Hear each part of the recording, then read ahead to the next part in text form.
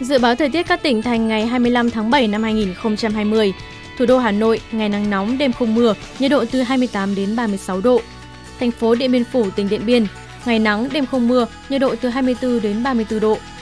Thành phố Vinh, tỉnh Nghệ An, ngày nắng nóng, chiều tối và đêm không mưa, nhiệt độ từ 28 đến 35 độ. Thành phố Đà Nẵng, ngày nắng nóng, chiều tối và đêm không mưa, nhiệt độ từ 26 đến 35 độ. Thành phố Buôn Ma Thuột, tỉnh Đắk Lắk, trời nhiều mây không mưa, nhiệt độ từ 21 đến 32 độ.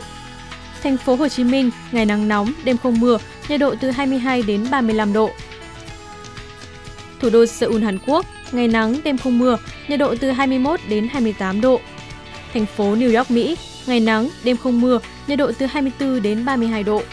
Thủ đô London, Vương quốc Anh, có mưa rào và rông rải rác, nhiệt độ từ 14 đến 21 độ.